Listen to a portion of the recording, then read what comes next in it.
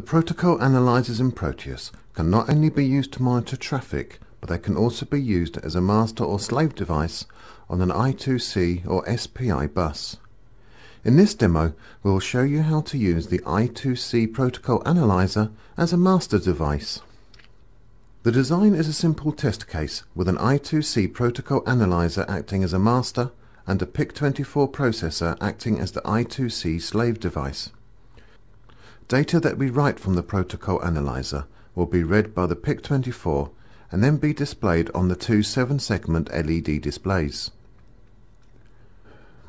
We can also use the I2C protocol analyzer in master mode to request information from the PIC24 processor. The PIC24 will read the 8-bit dip switch and transmit the value back to us as an I2C packet to be displayed on the analyzer. Before we can start communications, we need to know the address of the PIC24 I2C slave device. This is set by the firmware and if we look at the VSM Studio source code, we'll see the address is configured to be C0. Next, we need to press the play button to start the simulation running.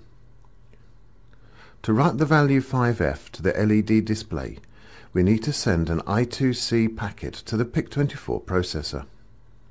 The I2C processor will contain a start bit followed by the address, followed by the data, and then terminated with a stop bit using standard I2C syntax for this. To send the sequence, we simply press the Queue button.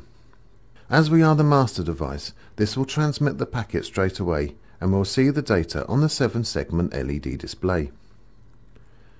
The data monitoring section of the analyzer will also show the transmitted sequence, which can be expanded as required. We can also perform a read request by entering the correct sequence in exactly the same way. We can have stored sequences for future use by adding them to the predefined sequence list. Here in our predefined sequence list, we have the correct I2C packet to ask the PIC24 processor to read the value of the 8-bit dip switch and send it back to us. Of course, the address of the PIC24, because it is a read, becomes C1. We go ahead and select the packet, press Queue to send it to the PIC24, and it responds with the packet address C1. And the data will be F0, which corresponds with our 8-bit dip switch.